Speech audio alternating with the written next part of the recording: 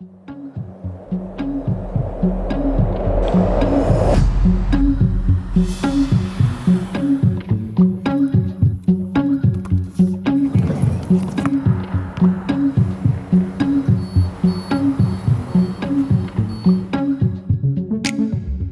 I were to describe South LA as a person, I would say that it's very loud and very full of life and also comical. Los Angeles, more specifically South LA, means a lot to me. It's a community where I grew up.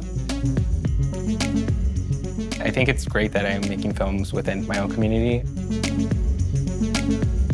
When I pitched it originally was my version of a love letter to Los Angeles but uh, Los Angeles that's very particular to me that show areas where I grew up in.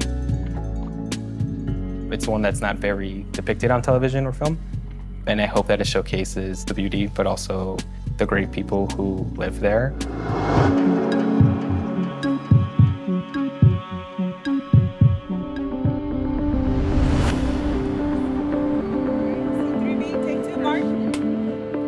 Zora's Last Day on Earth is a short film about two best friends who decide to spend their last day together in the community that they love. Decided to interpret my film to really focus in on a journey of friendship. It really centers around this older woman who decides to live her last particular moments on Earth as a younger person uh, and the journey that she takes with her best friend. It's not conventional story in the sense of like they're not going to the Hollywood sign, they're not going to Santa Monica, they're going to places that are very close to them.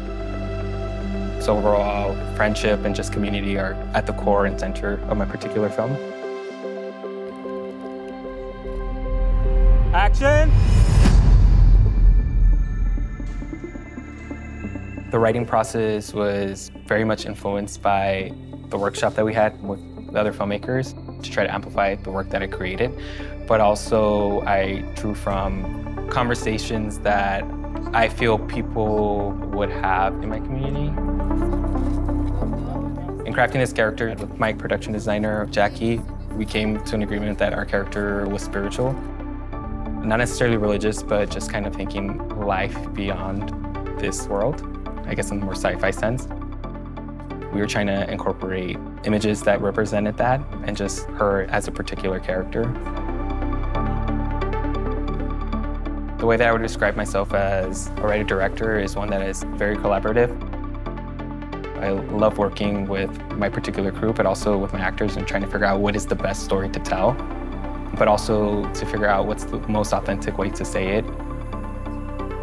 This project is very grounded sci-fi, but even within that, I felt there was moments where connection within our actors, but also our crew could mesh very well. Working with a larger crew, it's great because there's a lot of people who are there to support. We were able to funnel communication very smoothly by communicating through our key department people. Everyone worked well together. My collaboration with Miguel, it's honestly been very smooth. If something's not working for the production, then he's super open to talking about it and figuring out how we can make the story work. He's very open to ideas. That's what I really respect about him.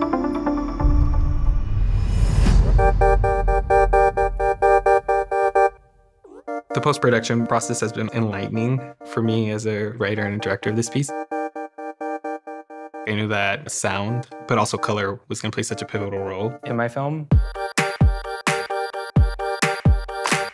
keeping true to our actors' skin tones, but also trying to amplify the colors and playing with black and how that looks and trying to match that, but also give it a dreamlike quality was something that was fascinating. I had conversations with Noel before about the sound of the film and how we wanted it to be grounded and figuring out how we could amplify the sound through the Atmos mix. I did take my time on it, trying to figure out the story ambience was my main thing. Bring the character to a happy moment as she's starting young for one day. Of course, it's in LA, so we hear traffic, a lot of sirens. It's a big city, So I did try to figure out how I could make this story come to life.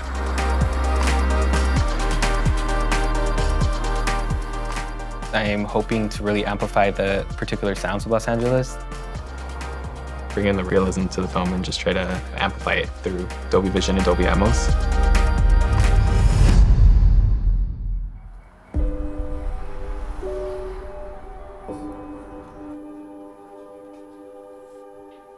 Looking back at my particular crew, I was just, number one, amazed.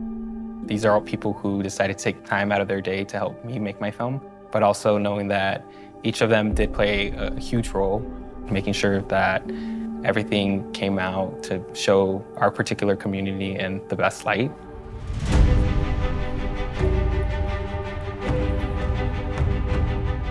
Crew members and my friends, the people from my community, to Dolby in general. I just think it's very inspiring, but I'm also very grateful because I know that it takes a, a lot of people to make a short film. So many people have stepped up to really help support me. Our project was very ambitious and just a lot of running around trying to figure out how we were going to accomplish particular tasks. And now I'm able to look back and just be in awe of the people that I collaborated with to make this project happen.